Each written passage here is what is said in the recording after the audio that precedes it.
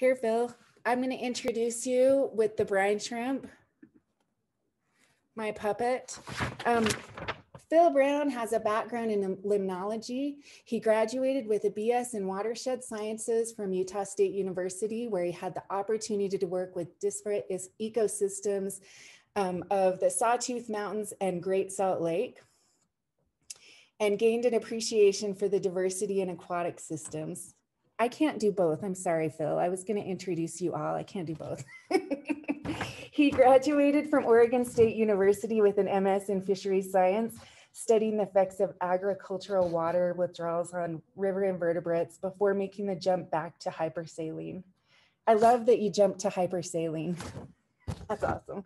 He has been involved in the Great Salt Lake ecosystem and Artemia population monitoring since 2008, First as a biologist for the Division of Wildlife Resources and currently with the Great Salt Lake Brine Shrimp Cooperative, where he is involved in the long-term monitoring of Artemia population, nutrients, phytoplankton, and the lake's deep brine layer.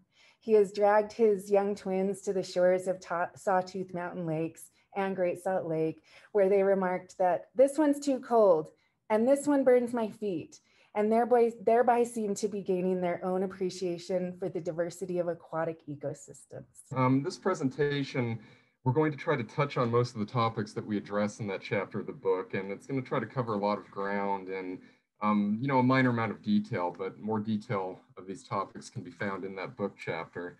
So as you mentioned, um, I'm from the Great Salt Lake Shrimp Cooperative. We are a cooperative of 17 individual companies which harvest the overwintering eggs known as cysts that the brine shrimp leave behind in the lake each fall. And cysts are used in aquaculture worldwide.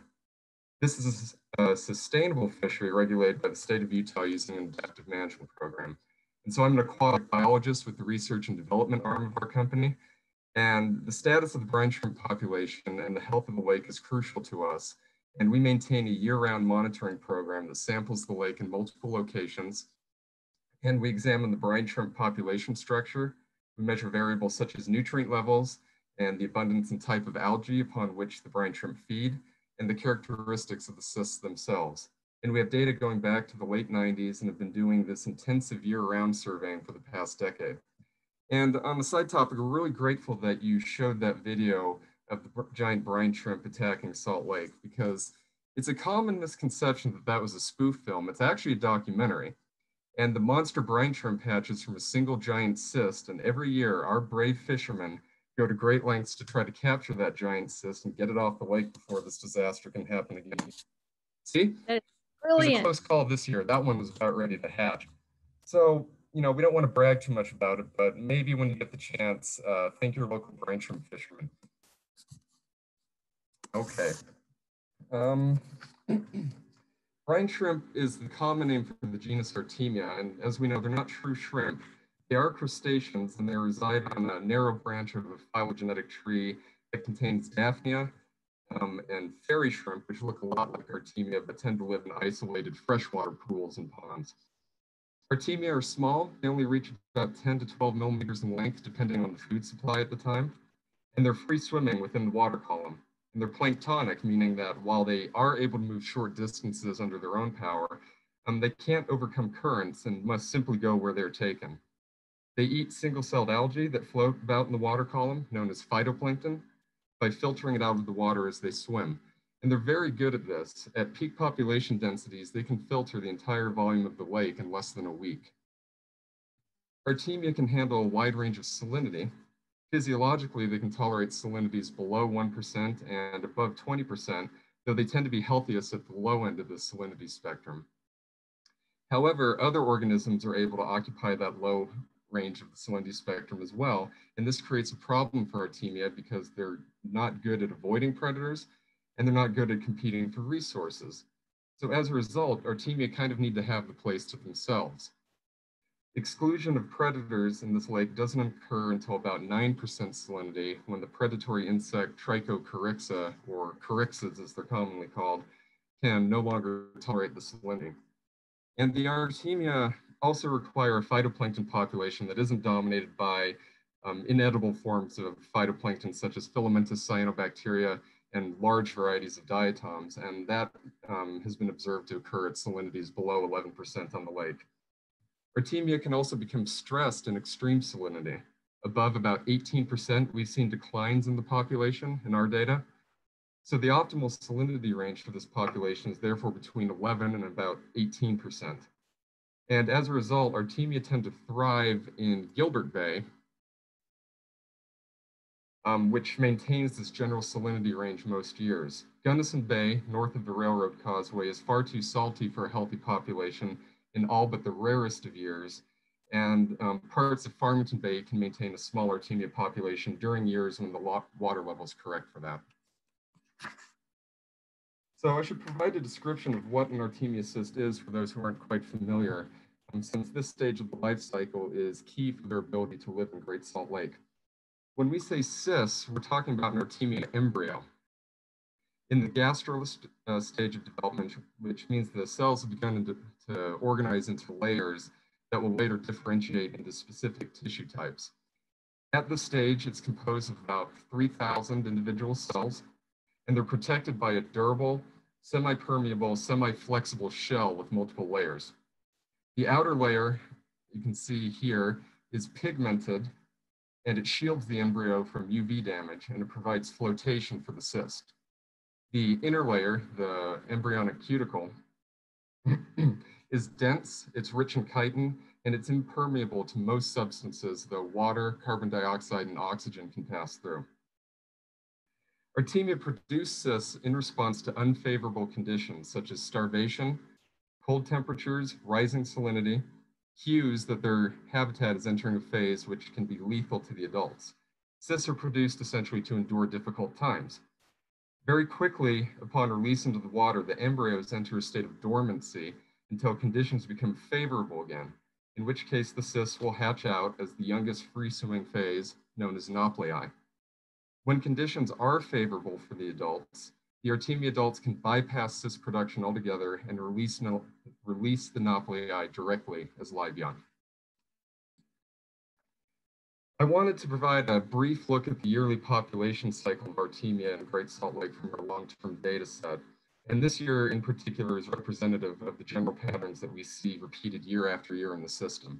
So the red line we see on the graph is the Artemia population size given as the number of adult Artemia measured per liter of lake water. The green line is the phytoplankton population size measured as the density of photosynthetic chlorophyll A pigments in the water. The light shaded gray is the production of live nauplii. The dark shaded gray is the production of cysts by the population. So in January and February, cysts are the only Artemia life stage in the lake because winter is too cold for the adults and they perished back in December. Hatching begins in March and April as the temperatures warm and river inflows tend to freshen the upper water layers of the lake. And the Artemia have an abundant food supply that has grown over the winter. The Artemia grow rapidly, produce more nauplii, and the population peaks sometime in May or June. And so for a brief time, it's really good to be a brine shrimp. However, the conditions turn quickly. The population rapidly exhausts the food supply, consuming it at a rate um, much more quickly than the phytoplankton can subdivide and reproduce. And so by the beginning of June, there's hardly any phytoplankton left in the lake, and the population begins to starve and produce cysts in response. Only about 10 to 20% of the adults survive that starvation period, and the phytoplankton, which are now freed from so much grazing pressure, can begin to grow back. So for the rest of the summer, the dynamic is much more stable. The Artemia are hedging their bets here by producing a mixture of nauplii and cysts, and their population doesn't expand to anywhere near the level seen towards the beginning of the year. And so in September and October, as winter approaches, more resources are diverted into the production of cysts, and the cysts remain in the lake and washed up on the shoreline throughout winter and begin the life cycle again in spring. Now, Artemia are important to both wildlife and people because of the ecosystem services that they can provide. One of these is control of eutrophication, which is the enriched state of a water body that results in high productivity. Uh, Great Salt Lake is at the terminal end of a very large watershed, so it naturally has high nutrient content and receives additional nutrients from human activities in the watershed. And so it's very productive. In winter and spring, when the Artemia are absent, the phytoplankton uses these nutrients to grow at very high density. However, when the Artemia population peaks, they can consume that phytoplankton within a few weeks and convert that algal biomass into Artemia biomass. Water clarity goes from as little as eight inches to more than 20 feet. This peak Artemia population each year is really brief because they quickly die back from starvation once they've consumed all of the food. And so during this brief peak, up to eight adult shrimp per liter of water have been measured, once by state biologists and once by our own program. When this occurs, there's an incredible amount of Artemia biomass in the lake. How much? Well, if you take that eight Artemia per liter and multiply it by the number of liters within Gilbert Bay, and then multiply that by the approximate weight of each brine shrimp, you get a mass that's equivalent to that of about 1.4 million people, assuming each of those people weighs 150 pounds. And that's essentially the entire population of the Salt Lake Valley. Now, remember that the Artemia population stabilizes at a more uh, lower sustainable number after that first starvation period. And if you use that lower, more stable number instead, you still derive an estimate of about 210,000 people, which is just Salt Lake City proper at that point. So, um, you know, Eric, you're not the only one who wanted to extrapolate to get a big number. and we thought this was interesting. And it's probably something to remember if you ever hear anybody say that Great Salt Lake is um, just a dead, lifeless waste. It's not. And um, this concept's a bit more enjoyable to see than to hear. So we have some um, camera footage from a camera lowered to the bottom of the lake that we were trying something out um, for a different research project. And I think it shows the Artemia population um, rather well. So let me start this.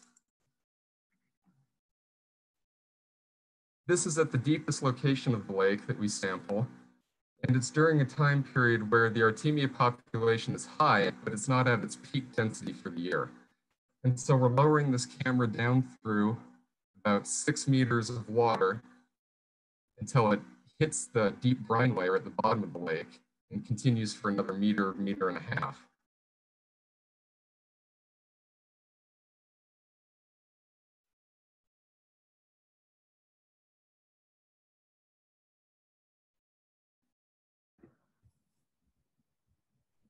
There's that salinity distortion entering the deep brine layer, which is anoxic, full of hydrogen sulfide, um, decomposition,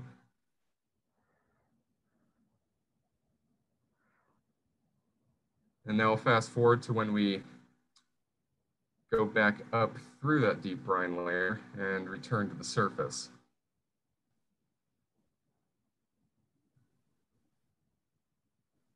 There we go, back into the oxygenated water layer of the lake. And something to keep in mind is that you're only seeing shrimp that are a few feet away, what the camera can see. Keep in mind that Gilbert Bay is 35 miles long and about 15 miles wide. So if you extrapolate what you were seeing here across a water body of that size, it becomes apparent that there's a lot of life in that lake. And up to the surface, and there's Brad Martin. Hi, Brad.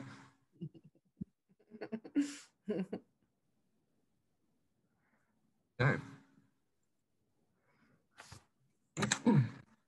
so as we can see from that, the Artemia population really is a vast nutritional resource for organisms that are capable of tapping into it. No fish or aquatic insects are present at these salinities, but there are several avian species that do feed on Artemia, and the most notable of these is the eared grebe, which uses the open waters of Gilbert Bay as a staging location during migration, particularly during fall and winter, um, when there can be uh, up to 4.5 million of them on the lake recorded by avian biologists. They feed exclusively on Artemia and are able to dive deep below the surface to find them. And flotillas of grebes, as you can see in this picture, can literally stretch for miles across Gilbert Bay when they're doing this. Other waterfowl, such as green-winged teal and northern shovelers, will dabble at cyst streaks in the water when freshwater wetlands are frozen over. And California gulls will even peck at Artemia accumulations at the surface. And while Artemia are not the primary food source for these birds, they can provide supplemental energy during difficult periods. And um, humans are another organism that can benefit from Artemia as a food source. Artemia nauplii are a crucial feed for the critical early stages of a number of aquaculture species, especially several varieties of table shrimp and prawns. Artificial feeds can't substitute for Artemia here. The young prawn larvae require the swimming motion of the Artemia to trigger those predatory feeding instincts. The nauplii are the correct size for those life stages to consume. They're highly digestible and they can be used to deliver nutritional supplements to the larvae as well. So aquaculture is becoming increasingly important across the globe as global demand outpaces wild harvest. And aquaculture is currently on pace to overtake uh, the amount of uh, wild caught seafood on a global scale. So this situation's not likely to change.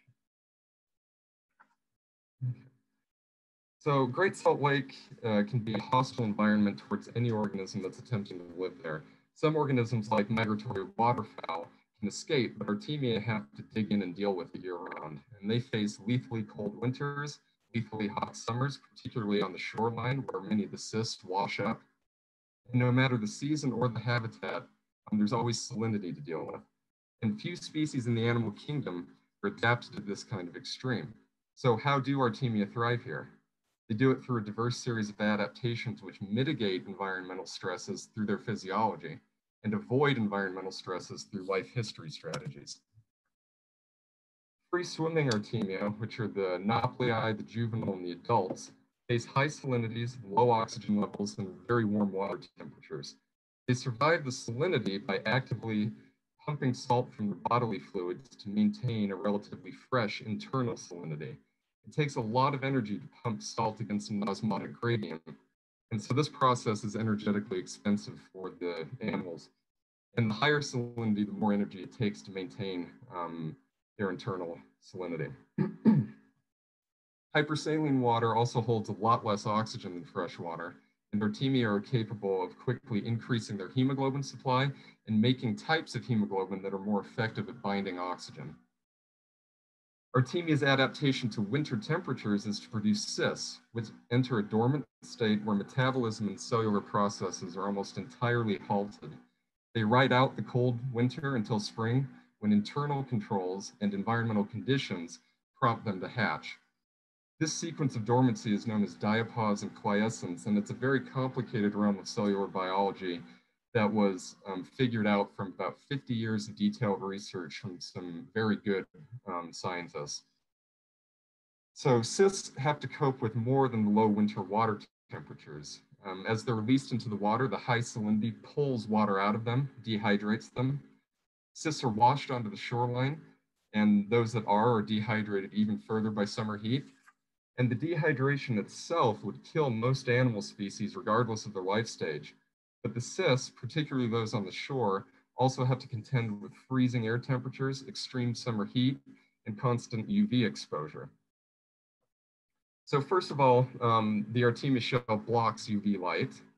Second, they have an unusual set of sugars inside the embryo, embryonic cells, such as trehalose, that protect the embryo from dehydration damage. Dehydration causes cell membranes to rupture because the water molecules act as structural component of those membranes. So when it's removed, it damages them. But in artemia, as the water leaves, those sugars take their place and hold those membranes intact. And at that point, the dehydration itself becomes protective for those cysts because if they contained a lot of water, the freezing of that water would lead to ice crystals that would damage the membranes. So being dehydrated works to their advantage. And third, there's a category of organic molecules known as heat shock proteins that protect membranes and other proteins um, within the cell. Proteins perform a lot of critical cellular functions, but they only work properly when they are maintained in that specific three-dimensional folded shape. And so dehydration and heat um, will distort the shape of those proteins and render them useless. They won't function properly anymore. Heat shock proteins act as what they call molecular chaperones, and they protect that protein structure. So when the cysts are rehydrated, everything works properly again. So these extremophile adaptations are why Artemia is so well suited for aquaculture and why they're harvested. Because the cysts are durable and in that dormant state, they can be harvested, cleaned, dehydrated, packaged, and shipped across the globe for aquaculture use. They have a very long shelf life and they hatch very easily for aquaculture operators when they need them. Therefore, the lake's productivity essentially has a global impact, bringing energy and nutrients to aquaculture farms across the globe, which then utilize that to bring energy and nutrients to a large number of people as a food source. so the importance of the Artemia, given this um, sustainable management of the resource is critical, and it was um, great to hear Jamie talk about this in the introduction, um, because it is a point of pride for us, for those of us involved on the lake, and it's required a unique partnership um, between different inter interest groups and organizations. So the harvest industry expanded very rapidly in the 1980s and early 1990s, and that led to concerns of overharvest. And so in the early 90s, the industry worked with the Utah Division of Wildlife to increase the scientific knowledge of the Artemia population on the lake and try to begin a science-driven management approach. And the resulting technical advisory group included scientists from the industry, um, from DWR, and from university researchers. The management plan was developed that set that optimum 21 cysts per liter uh, to be left in the lake so that there would be a strong um, Artemia population to start again next spring. And one of the um, successes of this is that the management plan is adaptive, meaning that it is reassessed every year as more data is obtained. And as a result of this collaboration, uh, this lake now has a 25 year record of scientific data collection, sustainable harvest, and functional working groups between these different stakeholders.